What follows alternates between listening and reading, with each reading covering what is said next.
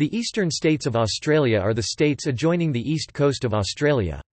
These are the mainland states of Victoria, Queensland, and New South Wales, the Australian Capital Territory and Jervis Bay Territory, while not states, are also included. The term usually includes the island state of Tasmania. On some occasions, the state of South Australia is included in this grouping. Regardless of which definition is used, the eastern states include the majority, around 80% of the Australian population, the federal capital, Canberra, and the three largest cities, Sydney, Melbourne, and Brisbane. It also includes, the Gold Coast, Queensland, Newcastle, New South Wales, and Wollongong, New South Wales as the three largest non-capital cities in the country. In terms of climate, the area is dominated by a humid subtropical zone, with some tropical Queensland and oceanic climate Australian Capital Territory, Victoria, New South Wales zones. In most situations, the eastern states are defined as those who use Australian Eastern Standard Time AEST, and that is the definition that this article will adhere to, unless noted. Divisions between the East and West Since the 1980s, governments have proposed building a high-speed rail in Australia. However, this rail would only go through the eastern states of Victoria, New South Wales and Queensland. Adelaide has often been included in the proposal, however, former Greens leader Bob Brown said that a rail connecting Perth was inevitable. Politicians and newspapers from Western Australia frequently use the terms to emphasise the them and us attitude with respect to the state's isolation from the rest of the country.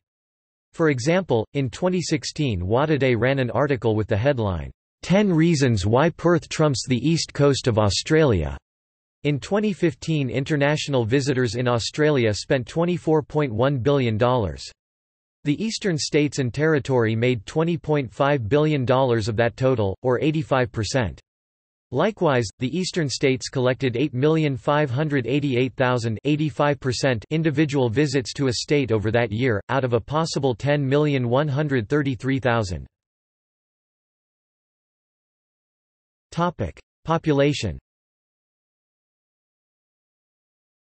The combined population of Queensland, New South Wales, Australian Capital Territory, Victoria and Tasmania is 19,484,100, or 81% of Australia's population.